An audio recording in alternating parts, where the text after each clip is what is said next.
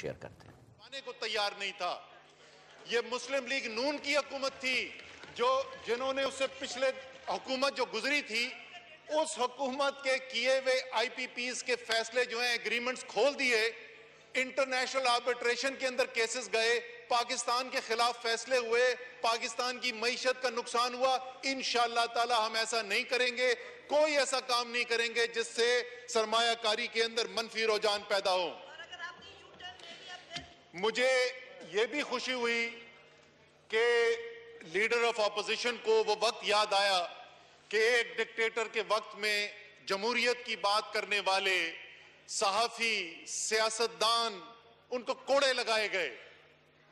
خصوصی طور پہ مجھے خوشی یہ اس لیے ہوئی سن کے کہ جب جمہوریت کا نام لینے والوں کو کوڑے لگائے جا رہے تھے، جب ان کو سولیٹری کنفائنمنٹ میں پھینکا جا رہا تھا تو اس وقت لیڈر آف اپوزیشن کے بھائی، پہلے وزیر خزانہ پنجاب، پھر وزیر اعلی پنجاب، اور جس وقت گیارہ سال اس ڈکٹیٹر کی حکمرانی ختم ہوئی، تو اسی اسلام آباد کے شہر میں کھڑے ہو کے میاں محمد نواز شریف نے اعلان کیا کہ میں ضیاء الحق کا مشن پورا کروں گا۔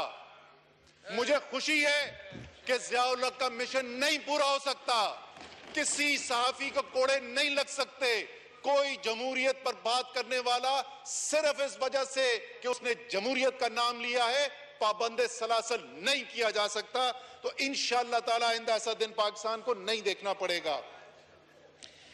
ایک اور بات کی تو مجھے ظاہر ہے کوئی شاید انفارمیشن، معلومات صحیح نہیں ملی۔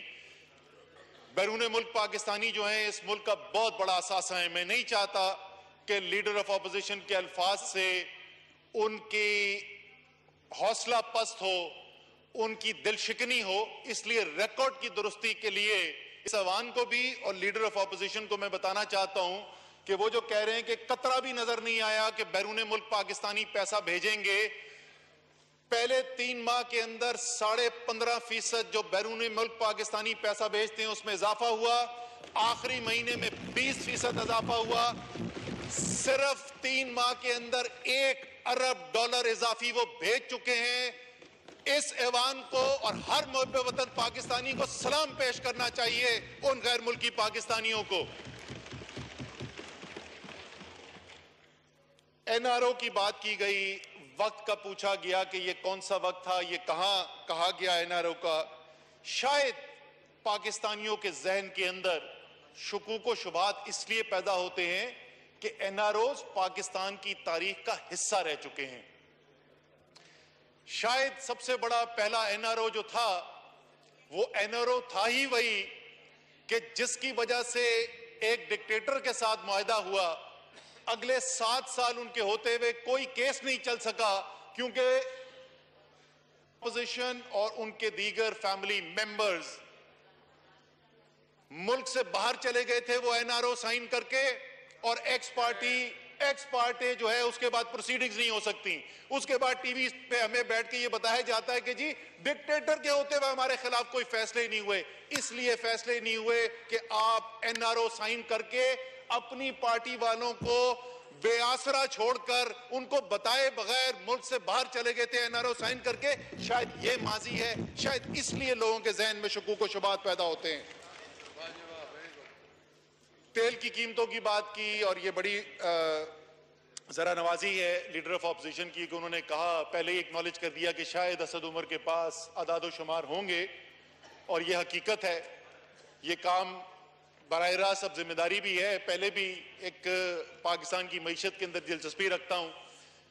یہ ریکارڈ کا حصہ ہے کہ مسلم لیگ نون نے وہ ڈیزل جو غریب کی بس میں استعمال ہوتا ہے، وہ ڈیزل جو چھوٹا کاروباری اپنے جو جنریٹر رکھا ہوا ہوتا ہے، وہ دکان میں استعمال کرتا ہے، جس سے غریب کاشکار ٹیوبل کے اندر وہ استعمال ہوتا ہے۔ اس ڈیزل کے اوپر پاکستان کی تاریخ میں نہ اس سے پہلے ہوا، نہ انشاءاللہ آئندہ کبھی ہوگا، ایک سو ایک فیصد ٹیکس لگاتی ہے۔ اس لیے اسد عمر کھڑا ہو کے اس پر تنقید کرتا تھا۔ تو اب آپ کا حق بنتا ہے، آپ سوال پوچھیں کہ اسد عمر، تم تو یہ کہتے تھے ایک سو ایک فیصد ٹیکس ڈیزل کے اوپر جو ہے، یہ پاکستان میں غریب کا استحصال ہے۔ تم کیا کر رہے ہو وزیر خزانہ ہوتے ہوئے؟ جناب اسپیکر اس وقت ڈیزل کے اوپر ٹیکس آج جو ہم کھڑے میں اس سے پانچ گنا کم ہے۔ آدھا نہیں، ایک تہائی نہیں، پانچ گنا کم ہے۔ جو ہم نے کہا تھا، وہ ہم کر کے دکھا رہے ہیں۔ آخری چیز جس کی بات کی گئی، ایسی میں نشاندہی کرنا چاہتا ہوں۔ ظاہر ہے، ان کی کوئی ایسی منفی ارادہ نہیں تھا۔ کوئی کوئی کسی مسلمان کا نہیں ہو سکتا۔ لیکن میں صرف میں صرف یہ جو ہے، میں ذرا جی سر۔ آپس میں گفتگو نہ کریں۔ چیئر کی طرف مخاطب ہو کے پلیز جواب مرتضی عباسی صاحب کہہ رہے ہیں کہ جی آپ کی ساری توجہ جو ہے وہ لیڈر آف اپوزیشن کی طرف ہے کو ہماری طرف بھی نظر کریں۔ عباسی صاحب آپ کے لیے حاضر۔ ٹھیک ہے جی۔ اچھا جی آخری چیز جیسے میں کہہ رہا تھا میں صرف نشاندہی کرنا چاہتا ہوں۔ مجھے یقین ہے کہ وہ ایسا کچھ کہنا نہیں چاہتے تھے۔ الفاظ کچھ مناسب استعمال نہیں ہوئے۔ لیڈر آف اپوزیشن نے ان کے بھائی کے الفاظ اگر میں استعمال کروں تو جوش خطابت میں یہ کہہ دیا کہ اللہ تعالیٰ نے دھاندلی کے ذریعے یہ حکومت بنائی۔ ظاہر ہے کہ آپ ایسی بات کہنا نہیں چاہتے تھے۔ میں نے کہا نشاندہی کر دوں تاکہ ان کو موقع مل جائے وضاحت کرنے کا، ورنہ ظاہر ایسا کہنا نہیں چاہتے تھے۔ اب آ جائیں جی آئی ایم ایف کے اوپر، جس کی وجہ سے میں بنیادی طور پر یہاں پہ آیا تھا۔ میں بالکل میں اگر مکمل کر تھوڑا سا بات کریں آئی ایم ایف کی میں بات ذرا ختم کر کے اس کے بعد آپ تفصیلی ضرور بات کر لیجیے گا۔ پالیسی سٹیٹمنٹ رہ جائے گی سپیکر صاحب آپ جی جناب شہباز شریف صاحب۔ جی جی مختصر آپ۔ ایک سر وفاقی وزیر خزانہ اسد عمر قومی اسمبلی میں اظہار خیال کر رہے تھے۔ ان کا یہ کہنا تھا کہ ہم کوئی ایسا کام نہیں کریں گے جس سے معیشت کو نقصان پہنچے۔ بیرون ملک مقیم پاکستانی ہمارا اثاثہ ہیں۔ جو ہے وہ اس وقت اظہار خیال کر رہے ہیں۔ قومی اسمبلی میں آئیے آپ سے شیئر کرتے ہیں۔ پاکستان کی معیشت اور پاکستان کی بہتری کے لیے ضروری ہے۔ اس لیے ہم جلدی نہیں کر رہے۔ کیونکہ ہم نے متبادل انتظامات کرائے گئے ہیں اور یہ اہم بات ہے پاکستان میں سب لوگوں کے عوام کے لیے بھی۔ کوئی پریشانی کی ضرورت نہیں ہے۔ آئی ایم ایف کے ساتھ ہمیں کل اگریمنٹ سائن کرنے کی کوئی جلدی نہیں ہے۔ ہم نے متبادل انتظامات کر لیے ہیں۔ آئی ایم ایف کے ساتھ مذاکرات چلتے رہیں گے۔ جب ایسا ہمیں معاہدہ سامنے نظر آیا جس پہ واقعی ہم یقین رکھیں گے کہ یہ واقعی پاکستان کی معیشت کے لیے پاکستان کی عوام کی بہتری کے لیے ہے تو ہم وہ معاہدہ کر لیں گے۔ تفصیلات جو ہے وہ اس پارلیمان کے ساتھ شیئر بھی کر لیں گے۔ لیکن ہم جلدی میں آ کے مشکل میں آ کے دباؤ میں آ کے کوئی ایسا فیصلہ نہیں کریں گے جس سے پاکستان کے عوام کے لیے مشکلات پیدا ہوں۔ بہت بہت شکریہ۔ سید نوید کمر صاحب قومی اسمبلی کے اجلاس میں وزیر خزانہ اسد عمر اظہار خیال جو ہے وہ اس وقت اظہار خیال کر رہے ہیں۔ قومی اسمبلی میں آئیے آپ سے شیئر کرتے ہیں۔ پاکستان کی معیشت اور پاکستان کی بہتری کے لیے ضروری ہے۔ اس لیے ہم جلدی نہیں کر رہے کیونکہ ہم نے متبادل انتظامات کرائے گئے اور یہ اہم بات ہے پاکستان میں سب لوگوں کے عوام کے لیے بھی۔ کوئی پریشانی کی ضرورت نہیں ہے۔ آئی ایم ایف کے ساتھ ہمیں کل اگریمنٹ سائن کرنے کی کوئی جلدی نہیں ہے۔ ہم نے متبادل انتظامات کر لیے ہیں۔